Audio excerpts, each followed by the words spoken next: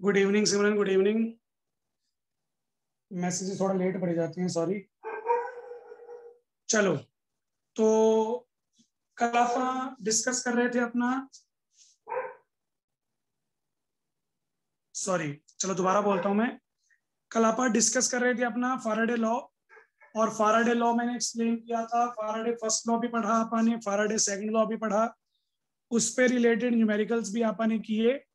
एक न्यूमेरिकल हमारा रह गया था मतलब आधा तो हमने कर लिया था, एक मेथड से, एक मेथड से हमारा रह गया था।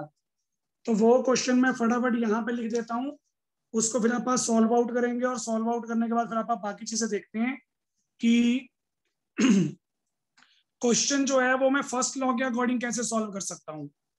आपने क्वेश्चन पढ़ा क्वेश्चन की स्टेटमेंट पढ़ी स्टेटमेंट पढ़ के तो यही लग रहा था कि वो सेकंड लॉ से सॉल्व होगा। ऐसे क्वेश्चंस को फ़र्स्ट लॉ से कैसे सॉल्व करेंगे, ये मैं आपको बता रहा हूँ।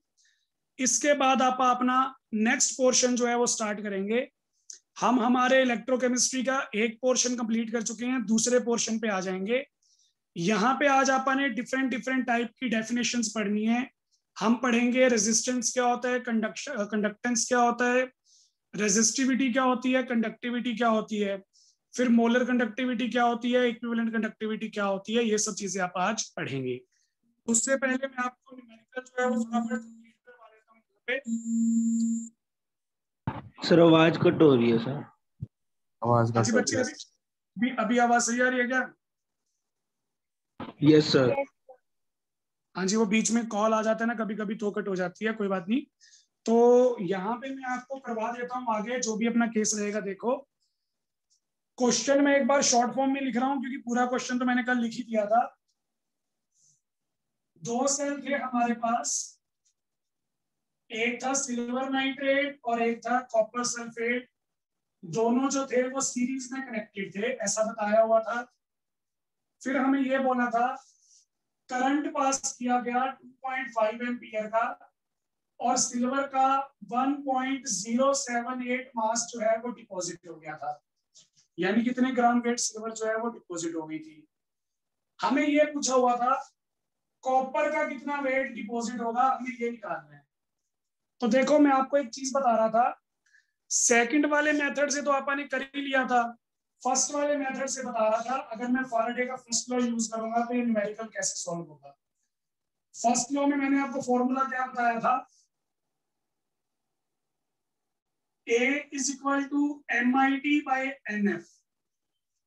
तो ये अपने पास अपना फॉर्मूला था। अब देखो। सबसे पहले मुझे सिल्वर की अमाउंट दी हुई है। अमाउंट दी हुई है। सिल्वर का मास मुझे पता है। सिल्वर की बैलेंसिंग मुझे पता है। यानी कि ये वाली वैल्यूज़ जो है, वो गिवन है। अमाउंट पता है मास पता है एन पता है। मुझे करंट की वैल्यू पता है, पर टाइम की वैल्यू नहीं पता। तो यहाँ से मैं क्या करूँगा? सबसे पहले टाइम की वैल्यू निकालूँगा। टाइम की वैल्यू कैसे निकलेगी देखो? टाइम आ जाएगा A into N F by M I तो यहाँ पे अपने पास क्या केस आएगा? अमाउंट कितनी गिवन है? 1.078 वैलेंसी कितनी है? सिल्वर नाइट्रेट में A G positive N O three negative तो वैलेंसी वन है। तो एन की वैल्यू आ गई वन और फाराडे कांस्टेंट होता है 96500 divided by mass of the silver silver का मास हमें गिवन था 108 और करंट कितना है? करंट है हमारा 2.5 तो यहाँ पे देखो, मैं आपको एक चीज़ बताता हूँ। आप यहाँ पे सिल्वर का एग्जैक्ट मास यूज़ करो, आपको हेल्प मिलेगी। सिल्वर का एग्जैक्ट मास होता है 107.8 और ये वाली वैल्यू जो है वो इसको आराम से कट कर देगी। तो यहाँ पे आप सिल्वर का एग्जैक्ट मास यूज़ करो। सिल्वर का एग्जैक्ट मास है हमारे पास 107.8 तो देखो, यहाँ डेसिमल रिमूव करूँगा तो थाउज़ेंड आएगा। यहाँ डेसिमल रिमूव करूँगा तो टेन आएगा। ये वाली वैल्यू हमारी कट हो गई। इसका यहाँ पे कोई रोल ही नहीं है। फिर ये वाली दो ज़ीरो से ये वाली दो ज़ीरो कैंसिल इससे हमारा ये कैंसिल तो हमारे पास हमारा टाइम कितना आ गया? 965 फाइव बाय टू इसको भी सॉल्व कर लेता हूँ, ये 10 आ गया. फाइव के टेबल पे कट हो जाएगा. फाइव टू सा टेन फाइव फाइव सा ट्वेंटी फाइव फाइव वन सा फाइव और यहाँ पे आ जाएगा वन नाइनटी थ्री मल्टीप्लाई करोगे तो मल्टीप्लाई करने पे आ जाएगा थ्री एटी सिक्स क्या बोला था मैंने? जब आप टाइम कैलकुलेट क्या करेंगे टाइम हमेशा अपने को सेकंड्स में लेना है। तो यहाँ पे अपने पास टाइम आ गया एटी सिक्स सेकेंड अब ये टाइम मैंने क्यों निकाला? क्योंकि मुझे कॉपर का मास निकालना था। तो यहाँ पे मैंने सिल्वर का मास यूज़ करके टाइम निकाल लिया। अब मैं कॉपर का मास इजिली निकाल सकता हूँ। कॉपर का मास कितना आएगा देखो?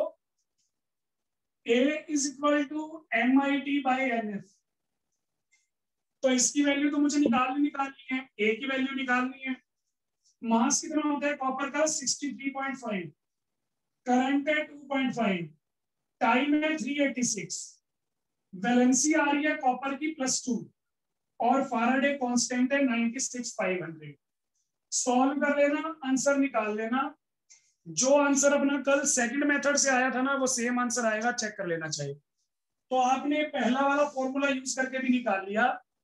अब एक बार इसका सॉल्यूशन ना बुक में देखना। बुक में देखोगे, दो मिनट के लिए देखोगे बुक बंद कर दोगे, इसी चीज़ पे आ जाओगे।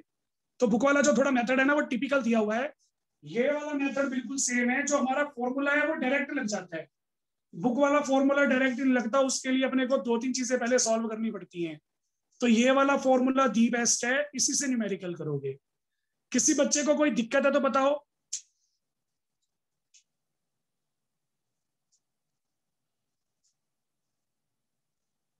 No sir. ठीक है जी।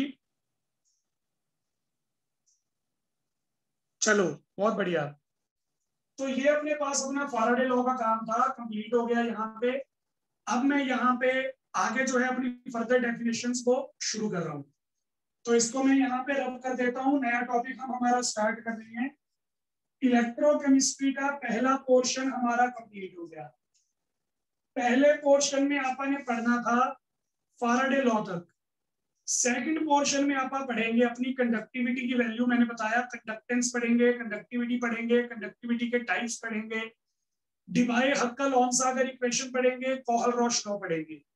तो ये चार पाँच टॉपिक हमारे रहेंगे सेकंड पार्ट में। थर्ड पार्ट में हम पढ़ना स्टार्ट कर देंगे। सॉरी थर्ड पार्ट में हम पढ़ना स्टार्ट कर देंगे गैल्वेनिक सेल और वोल्टिक सेल उनके बारे में डिटेल में डिस्कशन करेंगे, फिर फोर्थ में हम पढ़ेंगे हमारे सेकेंडरी सेल्स को, जिनको हम चार्ज कर सकते हैं। और हमारे चैप्टर का लास्ट पार्ट रहेगा, यानी कि fifth part that is corrosion या रस्टिंग तो हमारा जो चैप्टर है, वो टोटल मैंने पाँच पार्ट्स में डिवाइड कर रखा है। उसमें से एक पार्ट हमने कंप्लीट कर लिया। अब आ गए हैं हम हमारे नए टॉपिक पे। नया टॉपिक है हमारा कंडक्टर्स का। तो सबसे पहले, सबसे मुश्किल डेफिनेशन आ गई हमारी कि कंडक्टर्स क्या होती हैं। तो कंडक्टर्स क्या होते हैं? कंडक्टर्स हमारे वो सब्सटेंसेस हैं जो इलेक्ट्रिसिटी कंडक्ट करती हैं। ये सब्सटेंसेस सॉलिड स्टेट में भी हो सकती हैं और लिक्विड या मोल्टन स्टेट में भी हो सकती हैं। Those substances which conduct electricity in the solid state comma molten state or in the liquid state are called conductors. तो सिंपल सी डेफिनेशन बताई मैंने। Conduct electricity in solid state या इन लिक्विड स्टेट या मोल्टन स्टेट लिक्विड स्टेट या molten state एक ही बात है। डेफिनेशन में चाहे मैंने तीन वर्ड यूज़ किए हो लेकिन क्लासिफिकेशन के बेसिस पे दो ही तरह के कंडक्टर आएँगे। एक तो वो कंडक्टर जो सॉलिड स्टेट में होती हैं, एक वो कंडक्टर जो लिक्विड या मोल्टन स्टेट में होंगे। जो कंडक्टर्स हमारे सॉलिड स्टेट में होते हैं, उनको बच्चे आप बोलते हैं electronic conductors conductors which are exist as या which exist in solid state are called electronic conductors यानी कि इसका सबसे बढ़िया एग्जांपल रहेगा आपकी मेटल्स जो हमारी मेटल्स होती हैं, वो सॉलिड स्टेट में इलेक्ट्रिसिटी कंडक्ट करती हैं। तो इसलिए आप आप बोल सकते हैं कि जो हमारी मेटल्स होती हैं, वो हमारे इलेक्ट्रॉनिक कंडक्टर्स हैं। पहले चैप्टर में मैंने आपको बताए थे ना सेमीकंडक्टर एन टाइप और पी टाइप जिनकी कंडक्टिविटी हमने डोपिंग करके इंक्रीज कर दी थी। तो वो जो एन टाइप सेमीकंडक्टर है पी टाइप सेमीकंडक्टर है, वो भी हमारे सॉलिड सेमीकंडक्टर हैं तो वो भी हमारे इलेक्ट्रॉनिक कंडक्टर्स में आएँगे। तो यहाँ पे बेसिक एग्जांपल आप ले सकते हो मेटल्स का, उसके अलावा एन टाइप या पी टाइप सेमीकंडक्टर जो होते हैं, वो भी हमारे इलेक्ट्रॉनिक कंडक्टर ही होते हैं। तो जो हमारे सॉलिड स्टेट वाले कंडक्टर्स होते हैं ना, उनको आप क्या बोलते हैं? इलेक्ट्रॉनिक कंडक्टर्स बोलते हैं। फिर आ जाओ हमारे दूसरे टाइप पे वो कंडक्टर्स जो लिक्विड स्टेट या मोल्टन स्टेट में इलेक्ट्रिसिटी कंडक्ट करती हैं, उन्हें हम क्या बोलते हैं? इलेक्ट्रोलाइट्स इलेक्ट्रोलाइट्स हमारे वो कंडक्टर्स हैं जो लिक्विड या मोल्टन स्टेट में इलेक्ट्रिसिटी कंडक्ट करते हैं। ये डेफिनेशन तो मैंने आपको पहले बता दी थी, जब आप इलेक्ट्रोलिटिक सेल को पढ़ रहे थे, पर मैंने इसको एक्सप्लेन नहीं किया था। मैंने जस्ट इसकी डेफिनेशन बताई थी। मैंने बोला था इलेक्ट्रोलाइट हमारे वो सब्सटेंसेस होती हैं जो डिसोसिएट होने पे आयंस प्रोड्यूस करेंगे। अब अगर आयंस प्रोड्यूस हुए हैं आयंस हमारे चार्ज पार्टिकल्स हैं तो वो इलेक्ट्रिसिटी तो कंडक्ट करेंगे ही करेंगे। तो वहाँ पे अपने पास इलेक्ट्रिसिटी कंडक्शन की बात आती है। इलेक्ट्रोलाइट्स जो होती हैं, वो भी इलेक्ट्रिसिटी कंडक्ट कर सकती है। तो यहाँ पे मैंने आपको इतना ही बताया था फिर मैंने ये बोला था कि आगे फर्दर टाइप के होती हैं स्ट्रॉन्ग इलेक्ट्रोलाइट वीक इलेक्ट्रोलाइट उसके बारे में डिस्कशन आप बाद में करेंगे। तो वो जो बात था, वो आ गया, आज अपन यही डिस्कशन करनी है। हमारा जो फोकस है, वो इलेक्ट्रॉनिक कंडक्टर्स पे नहीं है। इसके बारे में तो आप काफ़ी पढ़ चुके हैं नाइन टेंथ क्लास से पढ़ रहे हैं। इलेक्ट्रॉनिक कंडक्टर्स के बारे में आप बहुत जानते हैं। आपा ने इस चैप्टर में फोकस करना है हमारे इलेक्ट्रोलाइट्स पे। तो पहले मैं आपको बताऊँगा इलेक्ट्रोलाइट क्या होते हैं। फिर मैं आपको इलेक्ट्रोलाइट्स की दो टाइप बताऊँगा स्ट्रॉन्ग इलेक्ट्रोलाइट वीक इलेक्ट्रोलाइट और फिर मैं आपको डिफरेंट डिफरेंट टाइप्स के फैक्टर बताऊँगा, जिन फैक्टर्स पे इलेक्ट्रोलाइट्स की कंडक्टिविटी या कंडक्टेंस की जो वैल्यू है, वो डिपेंडेंट है। तो ये सब चीज़ें आप अभी डिस्कस कर रहे हैं। हेडिंग है हमारी इलेक्ट्रोलाइट्स की।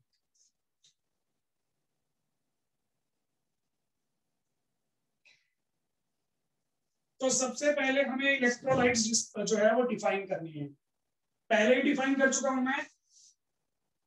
दो सब substances which on passing electric current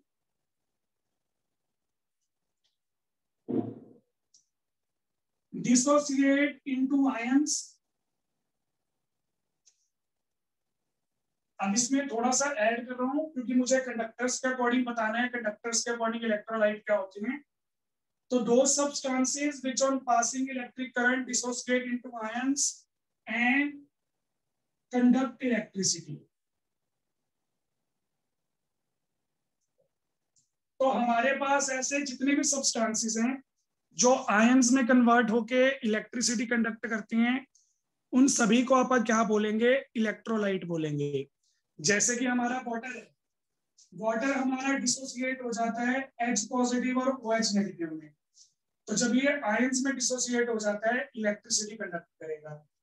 फिर आगे फर्दर चलते हैं। जैसे मैंने बोला, NaCl है। NaCl को पानी में डालोगे, Na पॉजिटिव Cl नेगेटिव हमारे आयंस बन जाएँगे इलेक्ट्रिसिटी कंडक्ट करेंगे। तो ये भी हमारा इलेक्ट्रोलाइट है। तो अलग अलग टाइप के इलेक्ट्रोलाइट्स है। ये भी इलेक्ट्रिसिटी कंडक्ट करेगा, ये भी इलेक्ट्रिसिटी कंडक्ट करेगा। पर मुझसे किसी ने पूछा कि सर, ये दोनों अलग अलग टाइप के इलेक्ट्रोलाइट हैं। इसका नाम है वाटर इसका नाम है NaCl सोडियम क्लोराइड दोनों अलग अलग टाइप के कंपाउंड हैं तो दोनों क्या same amount of electricity conduct करेंगे? तो मैंने बोला, नहीं क्लास के अंदर अलग अलग बच्चे होती हैं अलग अलग बच्चों के अलग अलग परसेंटेज आती हैं सेम परसेंटेज थोड़ी आएँगे। जो जितनी मेहनत करेगा उसकी उतनी परसेंटेज आएगी। सेम केस यहाँ पे है। हमारे पास अलग अलग इलेक्ट्रोलाइट है। जो हमारे डिफरेंट टाइप्स के इलेक्ट्रोलाइट होते हैं, वो same number of ions produce नहीं करते। कुछ इलेक्ट्रोलाइट ज़्यादा आयंस प्रोड्यूस करेंगे, कुछ इलेक्ट्रोलाइट्स कम आयंस प्रोड्यूस करेंगे। जो ज़्यादा आयन प्रोड्यूस करेंगे, ज़्यादा इलेक्ट्रिसिटी कंडक्ट करेंगे। जो कम आयंस को प्रोड्यूस करेंगे, कम इलेक्ट्रिसिटी कंडक्ट करेंगे, उसके अकॉर्डिंग हमारे पास जो हमारे इलेक्ट्रोलाइट होंगे, वो दो तरह से क्लासिफाई हो जाएँगे। एक तो वो इलेक्ट्रोलाइट्स जो ज़्यादा आयंस प्रोड्यूस करेंगे, ज़्यादा इलेक्ट्रिसिटी कंडक्ट करेंगे, एक वो इलेक्ट्रोलाइट्स जो कम आयन प्रोड्यूस करेंगे, कम इलेक्ट्रिसिटी कंडक्ट करेंगे। तो electrolytes are of two types first one strong electrolytes. And second one, weak electrolytes. Electrolytes हमारे पास दो तरह के होती हैं स्ट्रॉन्ग इलेक्ट्रोलाइट्स और वीक इलेक्ट्रोलाइट्स मेरे ख्याल से आपको नाम से ही समझ में आ गया होगा डेफिनेशन देने की ज़रूरत ही नहीं है। फिर भी चलो एक बार बता देती हैं। स्ट्रॉन्ग इलेक्ट्रोलाइट्स हमारे वो होते हैं जो large number of ions produce करते हैं। वीक इलेक्ट्रोलाइट्स हमारे वो होते हैं जो small number of ions produce करेंगे। स्ट्रॉन्ग वाले स्ट्रॉन्ग है, ज़्यादा आयंस प्रोड्यूस करेंगे। वीक वाले नाम से पता चल रहा है, कमज़ोर है, ज़ोर नहीं है, इनमें टूटने के लिए कमी नहीं है। तो ये कम आयंस प्रोड्यूस करेंगे। अब एक बार सुनो। ज़्यादा आयंस प्रोड्यूस होंगे या कम आयंस प्रोड्यूस होंगे, ये किस पे डिपेंडेंट है? ये डिसोसिएशन पे डिपेंडेंट है। जितनी ज़्यादा डिसोसिएशन होगी, उतने ज़्यादा आयंस प्रोड्यूस होंगे, उतनी ज़्यादा इलेक्ट्रिसिटी कंडक्ट होगी। तो यहाँ पे मैं आपको स्ट्रॉन्ग इलेक्ट्रोलाइट्स की डेफिनेशन दे रहा हूँ। Strong electrolytes are those which dissociates almost completely भाई, अगर आपने 100 ग्राम इलेक्ट्रोलाइट लिया था ना तो 100 ग्राम में से निन्यानवे पॉइंट नाइन ग्राम जो है वो टूट गया। लगभग लगभग जितनी भी अमाउंट आपने ली थी वो सारी डिसोसिएट हो गई। जितनी अमाउंट आपने ली थी सारी डिसोसिएट हो गई, सबने आयंस बना दिए। इसका मतलब large number of ions produce हो गए जब large number of ions produce होंगे तो इलेक्ट्रिसिटी भी ज़्यादा कंडक्ट होगी।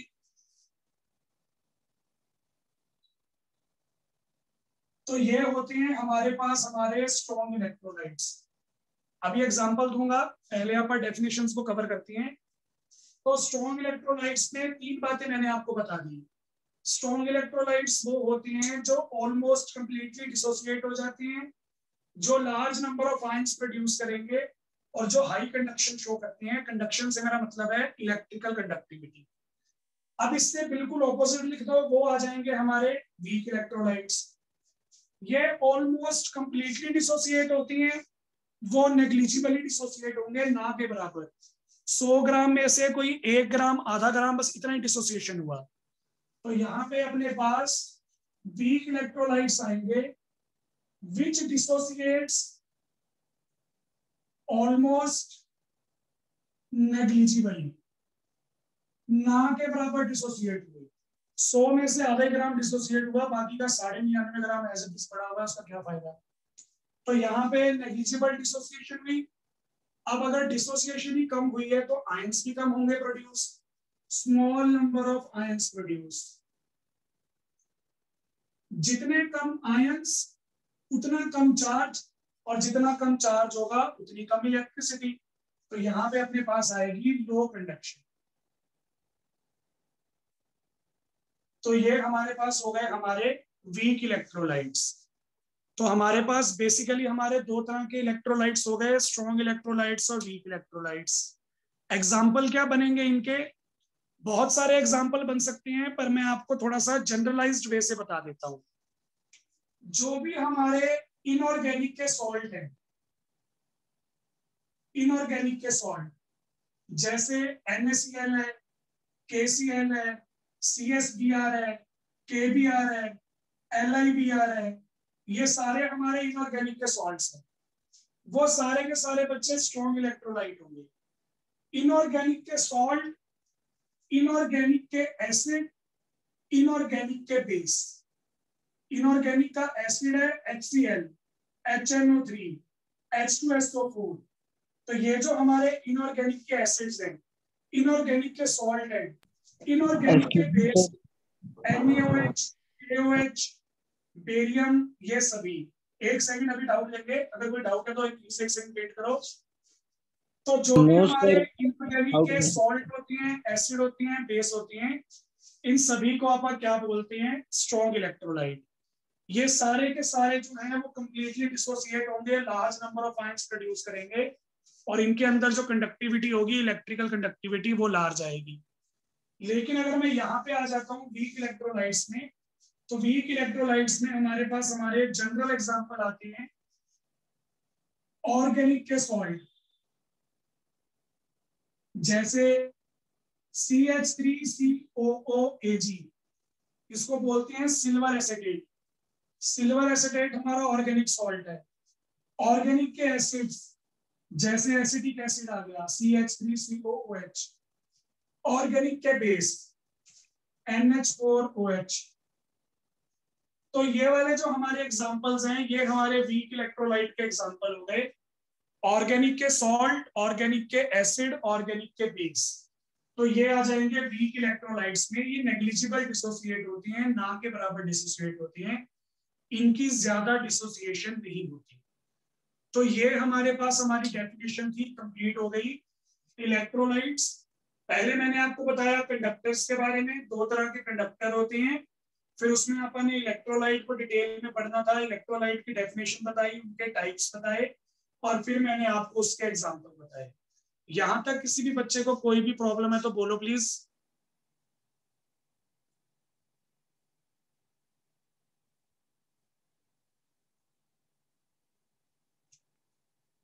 कोई भी डाउट है तो बोल सकते हो।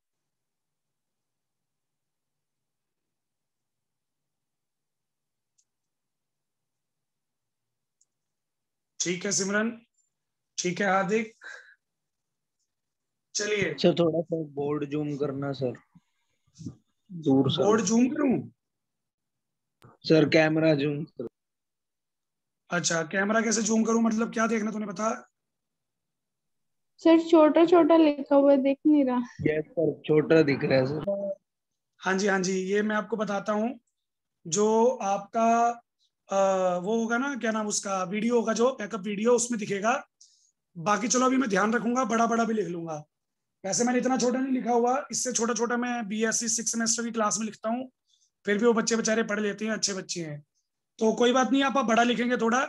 बाकी एक बार मैं जूम कर देता हूँ, अगर आपने स्क्रीनशॉट वगैरह लेने हैं तो ले सकते हो, कोई दिक्कत नहीं है।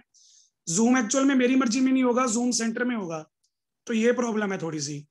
एक बार स्क्रीनशॉट ले लो, बाद में पढ़ोगे क्लियर आ जाएगा, कोई दिक्कत नहीं है। बाद में अभी मैं जो लिखूँगा ना वो बड़ा बड़ा लिखूँगा सब कुछ। हाँ जी रब कर दू एक बार? yes. चलो। यस सर हाँ जी। अच्छा चलो। सिमरन कह रही है क्लियर है सब कुछ ऐसे झूठ मत बोलो छोटा छोटा बाकी अभी बड़ा बड़ा लिख देंगे कोई बात नहीं। आप ध्यान दो थोड़ा सा। तो ये अपना कंडक्टर्स का टॉपिक था कंप्लीट हो गया। इसके बाद अब अपन नेक्स्ट टॉपिक हमारा स्टार्ट करना है। जैसा मैंने आपको बताया था कि आप कुछ डेफिनेशन पढ़ेंगे। पहले आप पढ़ेंगे रेजिस्टेंस फिर आप पढ़ेंगे कंडक्टेंस उसके बाद आप पढ़ेंगे रेजिस्टिविटी कंडक्टिविटी और फिर कंडक्टिविटी के फर्दर दो टाइप्स होते हैं, वो पढ़ेंगे। तो ये सारी चीज़ें पढ़नी है, काम की चीज़ें हैं। जो भी अभी मैं आपको फॉर्मूलाज लिखवाऊँगा, वो सारे फॉर्मूलाज न्यूमेरिकल में यूज़ होते हैं। तो ये हमारे पास हमारे सेकंड टाइप के न्यूमेरिकल आ गए, जो इलेक्ट्रोकेमिस्ट्री में से आ सकती हैं। तो पहले टर्म्स देखो फॉर्मूलाज देखो, बाकी की जो चीज़ें हैं, वो फिर आप बाद में करेंगे। अच्छा एक चीज़ तो मैं भूल ही गया रखो अभी। मैं आपको इलेक्ट्रोलाइट्स के फैक्टर तो बताना ही भूल गया कौन कौन से फैक्टर हैं जिन पे कंडक्शन डिपेंड करेगी। फैक्टर तो आपने पढ़े ही नहीं। तो पहले आप फैक्टर पढ़ेंगे। अभी एक चीज़ अपनी छूट जाती है, दिक्कत हो जाती है। तो हम पढ़ेंगे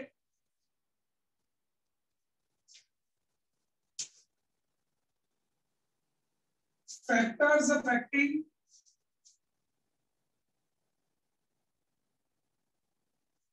conductivity of electrolytes इतना बड़ा बड़ा लिखने की आदत नहीं है मुझे। थोड़ी देर बाद देख लेना अपने आप छोटा हो जाएगा। तो ये अपने पास है factors affecting conductivity of electrolyte जो इलेक्ट्रोलाइट्स की इलेक्ट्रिकल कंडक्टिविटी है, वो किस किस फैक्टर पे डिपेंड करती है, ये मुझे बताना है। अब देखो कौन कौन से फैक्टर हैं। पहला फैक्टर है हमारा नेचर ऑफ़ इलेक्ट्रोलाइट दूसरा फैक्टर है हमारा नेचर ऑफ़ सोलवेंट। तीसरा फैक्टर है हमारा कंसंट्रेशन। चौथा फैक्टर है हमारा टेम्परेचर। पांचवा फैक्टर है हमारा साइज़ ऑफ़ द आयंस। और लास्ट फैक्टर है हमारा विस्कोसिटी। तो ये छह फैक्टर हैं। इन छह फैक्टर्स पे मैंने बताना है कंडक्टिविटी कम होगी या ज़्यादा होगी। देखो फैक्टर तो मैं बाद में एक्सप्लेन करूँगा। पहले मैं आपको कुछ एक चीज़ें बता देता हूँ जो यहाँ पे यूज़ होंगी। सबसे पहली चीज़ यहाँ पे क्या यूज़ होगी? आपने ये चीज़ ध्यान में रखनी है कि अगर हमारे फैक्टर को स्टडी करने से नंबर ऑफ़ आयंस ज़्यादा आ रहे हैं तो कंडक्टिविटी ज़्यादा आएगी। और अगर हमारे नंबर ऑफ़ आयंस कम आ रहे हैं तो कंडक्टिविटी कम आएगी। पहली चीज़ तो ये। दूसरी चीज़ आपको याद रखनी है मूवमेंट की। अगर हमारे आयंस मूवमेंट कर पा रहे हैं मोशन शो कर पा रहे हैं, तभी तो वो इलेक्ट्रिसिटी कंडक्ट करेंगे। अगर वो मोशन ही नहीं शो कर पा रहे तो वो इलेक्ट्रिसिटी कंडक्ट नहीं करेंगे। अगर हमारे पार्टिकल्स मोशन शो कर रहे हैं तो जो फास्टर मोशन शो करेगा, वो ज़्यादा इलेक्ट्रिसिटी कंडक्ट करेगा। जिसका मोशन स्लो होगा, वो कम इलेक्ट्रिसिटी कंडक्ट करेगा। तो ये दो तीन बातें हैं जो आपको माइंड में पता होनी चाहिए। अंडरस्टूड वाली बातें थी।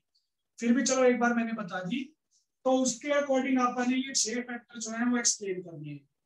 अब छह फैक्टर में से पहला फैक्टर तो मैं ऑलरेडी एक्सप्लेन कर चुका हूँ। नेचर ऑफ़ इलेक्ट्रोलाइट आपने पढ़ा इलेक्ट्रोलाइट के दो नेचर होती हैं। या तो इलेक्ट्रोलाइट होती है स्ट्रॉन्ग या इलेक्ट्रोलाइट होती है वीक जो स्ट्रॉन्ग इलेक्ट्रोलाइट होती हैं, वो ज़्यादा आयंस प्रोड्यूस करते हैं, इनकी कंडक्टिविटी ज़्यादा आएगी। ये ज़्यादा कंडक्शन शो करेंगे। लेकिन जो वीक इलेक्ट्रोलाइट्स होते हैं, वो कम आयंस प्रोड्यूस करते हैं तो वो लो कंडक्शन शो करेंगे। स्ट्रॉन्ग वाले हाई कंडक्शन शो करेंगे वीक वाले जो है, वो लो कंडक्शन शो करेंगे। अभी आपने 10 मिनट का लेक्चर दिया था इसमें तो पहला फैक्टर जो है, वो तो हमारा 100 परसेंट क्लियर है। फिर आ जाओ आप दूसरे फैक्टर पे। दूसरा फैक्टर है हमारा नेचर ऑफ़ सोलवेंट का। आपने जब इलेक्ट्रोलाइट का सॉल्यूशन बनाना है तो इलेक्ट्रोलाइट का सॉल्यूशन बनाने के लिए हम इलेक्ट्रोलाइट को सोलवेंट में डिसॉल्व करेंगे ना। तो सोलवेंट का नेचर कैसा होना चाहिए? अब सोलवेंट जो होता है हमारा सोलवेंट के दो तरह के नेचर हो सकते हैं। या तो हमारा सोलवेंट होगा पोलर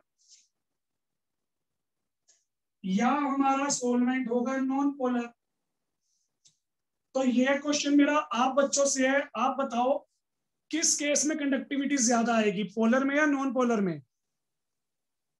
पोलर में सर सारिका ने बोला पोलर में किसी को कुछ और लग रहा हो तो बताओ। थोड़ा जल्दी जल्दी बताना बच्चे टाइम थोड़ा कम है। पोलर में सर पोलर में सर सर पोलर में। चलो पोलर पोलर कह रहे हो तो आपकी बात माननी पड़ेगी।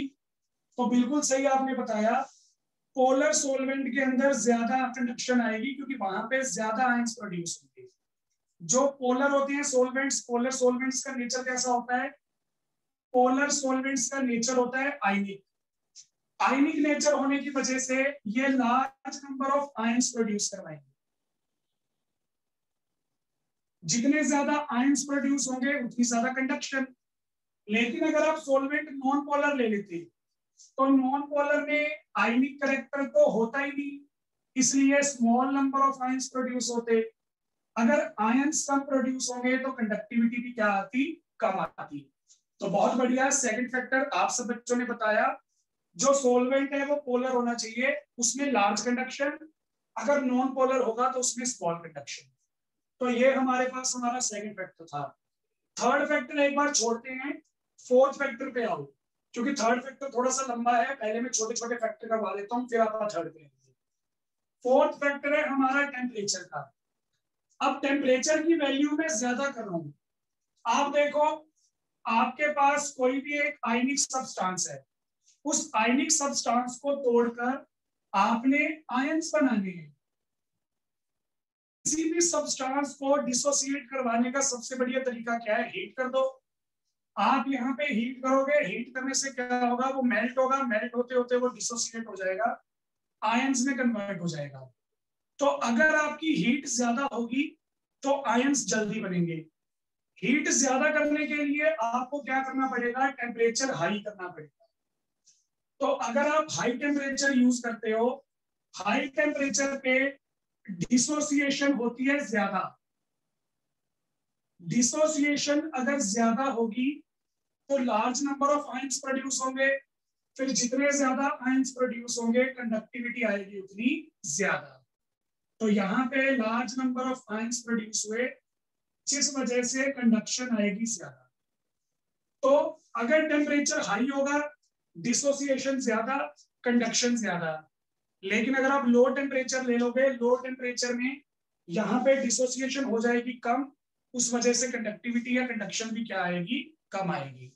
तो ये हमारा टेम्परेचर का फैक्टर था। फिर आ जाओ साइज़ ऑफ़ द आयंस पे।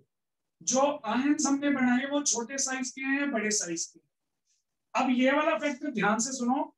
इसमें काफ़ी बच्चे कंफ्यूज होते हैं, क्योंकि प्लस वन का एक कंसेप्ट आता है। हमारे पास जो आयंस प्रोड्यूस हो रहे हैं, वो आयंस या तो होंगे साइज़ में छोटे, या होंगे साइज़ में बड़े। जो हमारे स्मॉल आयंस होते हैं उनके साथ ज़्यादा वाटर मॉलिक्यूल आके अटैच होते हैं, जिसको आप बोलते हो हाइड्रेशन हाइड्रेशन का प्रोसेस क्या होता है? हाइड्रेशन के प्रोसेस में एक आयन होगा, उस आयन को आप पानी में डाल दो। तो जब उस आयन को आप पानी में डालोगे ना, पानी के मॉलिक्यूल उसको अट्रैक्ट करना स्टार्ट कर देंगे। जितना छोटा साइज़ होगा, उतने ज़्यादा पानी के मॉलिक्यूल आके अट्रैक्ट करेंगे। जितना बड़ा साइज़ होगा, उतने कम पानी के मॉलिक्यूल आके अट्रैक्ट करेंगे। जितने ज़्यादा पानी के मॉलिक्यूल अट्रैक्ट करेंगे पोलैरिटी उतनी ज़्यादा आएगी तो कंडक्शन इंक्रीज हो जाएगी। लेकिन अगर आपके आयन का साइज़ बड़ा है तो वहाँ पे कम पानी आके अटैच होते हैं, जिस वजह से पोलैरिटी कम हो जाएगी कंडक्शन आएगी कम। ऊपर आ रही है हाई कंडक्शन नीचे आएगी लो कंडक्शन ये मैं आपको एक बार डायग्राम बना के दिखा देता हूँ क्लियर हो जाएगा। अगर आपका छोटे साइज़ का आयन है तो यहाँ पे बच्चे बहुत सारे पानी के मॉलिक्यूल आके अटैच हो जाते हैं। लेकिन अगर हमारे पास साइज़ बड़ा होता है, बड़े साइज़ वाले पॉजिटिव चार्ज के पास पानी को अट्रैक्ट करने की पावर नहीं होती तो यहाँ पे कम पानी के मॉलिक्यूल आके अट्रैक्ट होंगे। यहाँ पे ज़्यादा मॉलिक्यूल है, ज़्यादा पोलैरिटी यहाँ पे कम मॉलिक्यूल है, कम पोलैरिटी तो बच्चे, छह में से चार फैक्टर मैंने आपको बता दिए। किसी बच्चे को कोई दिक्कत है तो बोलो फटाफट।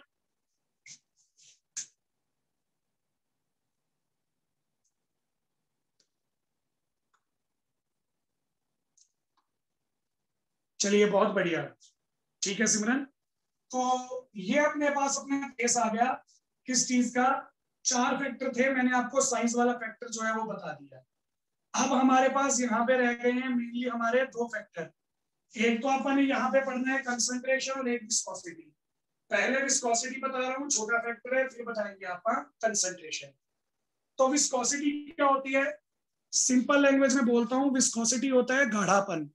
जो आपका सॉल्यूशन है, वो कितना गाढ़ा है मतलब उसका जो डेंसिटी है, वो कितना कम है कितना ज़्यादा है? एक तो आपके पास होती हैं आपके पतले पतले सॉल्यूशंस और एक होते हैं गाढ़े सॉल्यूशंस मैं एग्जांपल ले लेता हूँ, जैसे शहद है। शहद जो है वो बहुत ज़्यादा गाढ़ा सॉल्यूशन होता है। तो जब आप एक स्लाइड लोगे मतलब आपके पास एक स्लाइडिंग सरफेस है, उस स्लाइडिंग सरफेस पे आपने क्या करना है? पहले तो आपने मिल्क गिराना है, फिर आप वाटर गिराओगे और फिर आप हनी गिराओगे। तो आप क्या देखोगे? पानी सबसे पहले नीचे जाएगा, उसके बाद मिल्क और सबसे धीरे जाएगा हनी यानी कि शहद। तो ऐसा क्यों? क्योंकि जो हमारा हनी है, वो गाढ़ा होता है, उसकी विस्कोसिटी ज़्यादा होती है, जिस वजह से उसके पार्टिकल स्लो मूव करते हैं। और यहीं पे हमारा आंसर आ गया। विस्कोसिटी क्या होती है? विस्कस यानी कि गाढ़ापन। तो ये विस्कस नेचर होता है लिक्विड का। विस्कस नेचर में आप क्या बोलेंगे? जिन सॉल्यूशंस की विस्कोसिटी ज़्यादा होती है हाई विस्कोसिटी होती है, वो धीरे मूव करेंगे। और जिनकी विस्कोसिटी कम होती है लो विस्कोसिटी होती है, वो जल्दी मूव करेंगे। तो मैंने आपको टॉपिक स्टार्ट करने से पहले बताया था ना कि हमारे पास हाई विस्कोसिटी होगी तो धीरे मूवमेंट लो विस्कोसिटी होगी तो ज़्यादा मूवमेंट यानी कि फास्ट मूवमेंट जो फास्ट मूव करेंगे, वो क्या करेंगे? कंडक्शन ज़्यादा शुरू तो जिनकी लो विस्कोसिटी होती है, वो फास्ट मूव करते हैं हाई कंडक्शन की वैल्यू को शो करती है। जिनकी विस्कोसिटी ज़्यादा होगी, वो धीरे मूव करेंगे लो कंडक्शन की वैल्यू शो करेंगे। ये था हमारे पास हमारा विस्कोसिटी का फैक्टर अब आ जाता हूँ मैं मेरे लास्ट फैक्टर पे कंसंट्रेशन का फैक्टर इसमें बहुत सारे बच्चे गलती करते हैं। कंसंट्रेशन को बच्चे स्ट्रॉन्ग और वीक के साथ कनेक्ट कर देते हैं। वो बोलते हैं, जिनकी कंसंट्रेशन ज़्यादा होगी वो स्ट्रॉन्ग जिनकी कंसंट्रेशन कम होगी वो वीक ऐसा कुछ नहीं है। कंसंट्रेशन का नेचर ऑफ़ इलेक्ट्रोलाइट के साथ कोई लेना देना नहीं है, ये याद रखोगे।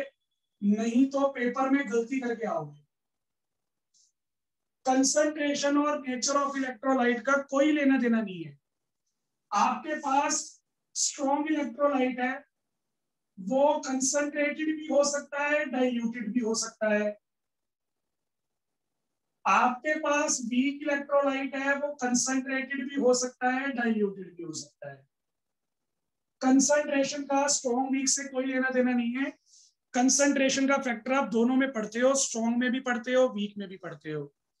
अब कंसंट्रेटेड का मतलब है ज़्यादा कंसंट्रेशन डाइल्यूटेड का मतलब है कम कंसंट्रेशन तो यहाँ पे मैं आपको क्या बता रहा हूँ? ध्यान से सुन लो। चाहे स्ट्रॉन्ग इलेक्ट्रोलाइट है, चाहे वीक इलेक्ट्रोलाइट है।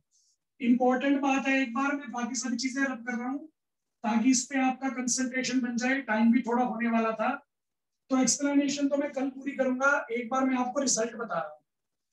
चाहे स्ट्रॉन्ग इलेक्ट्रोलाइट हो, चाहे वीक इलेक्ट्रोलाइट हो डाइल्यूटेड जो होते हैं, उनकी कंडक्टिव जो कंडक्शन होती है, वो हाई होती है। अगर आपके पास आपका कंसंट्रेटेड इलेक्ट्रोलाइट होगा, चाहे वो स्ट्रॉन्ग है, चाहे वो वीक है, उसकी कंडक्शन होती है लो अब ऐसा क्यों होता है, ये फिर आप देखेंगे अपने